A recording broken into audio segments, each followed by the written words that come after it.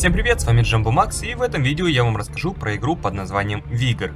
Для тех, кто пропустил E3 2018, напоминаю, что данная игра представляет собой фри-то-плей выживалку от создателей Days. И самое прикольное то, что данная игра является эксклюзивом и должна выйти только на Xbox One. В игре вы берете на себя роль одного из выживших после ядерной войны, чтобы, как несложно догадаться, выжить и обустроить свою халупу как пятизвездочный отель. Вигор, помимо выживания, содержит в себе элемент батл рояля аж на 16 человек. Вот это масштаб, да. Когда вам надоест бессмысленно бродить по дому, вы выбираете локацию и отправляйтесь на поле битвы с целью отыскать нужные предметы для дальнейшей модификации. И именно там вы должны встретить других игроков, которые помешают вам добыть все, что нужно. И да, если вы вдруг умрете, то все ваши вещи, которые у вас будут, достанутся вашему сопернику. Очень оригинальная идея, да.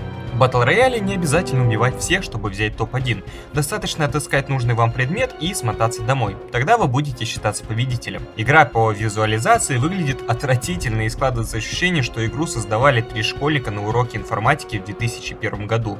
Я не преувеличиваю, вы просто посмотрите. Кривая анимация, минимум проработки, но зато движок Unreal Engine 4. Стрельба сделана очень убого. Мало того, что ты не понимаешь, куда ты стреляешь, так еще и нет чувства выстрела, так как напрочь отсутствует вибрация. Ты понимаешь это только лишь по звуку, и то не всегда. Но когда ты открываешь лутбокс, то геймпад от вибрации просто разрывает. Логика, да?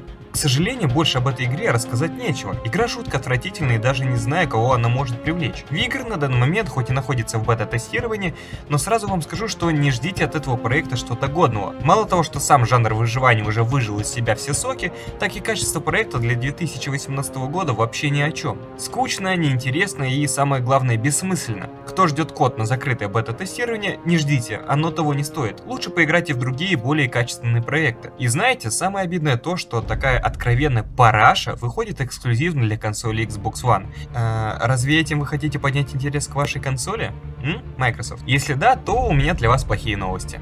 У меня на этом все. Если тебе понравился обзор и ты никогда не обратишь внимания на эту игру, ставь лайк, подписывайся на канал и пиши свое мнение об этом проекте. Спасибо за просмотр, до новых встреч.